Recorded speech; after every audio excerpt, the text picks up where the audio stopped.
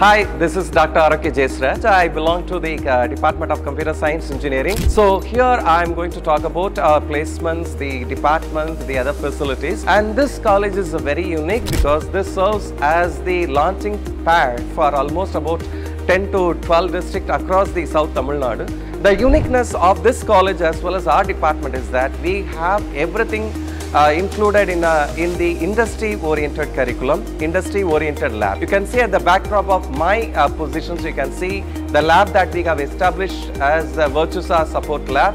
The another one is the Wipro Lab. And every curriculum that we offer in our department is completely project-oriented as well as innovative teaching-oriented. Here, we ensure that they come, they learn, they practice, and finally they come up with successful career.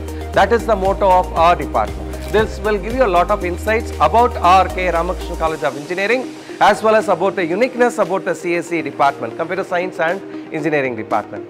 And further, for any clarifications, you can contact us anytime. Thank you so much. Wish you good luck.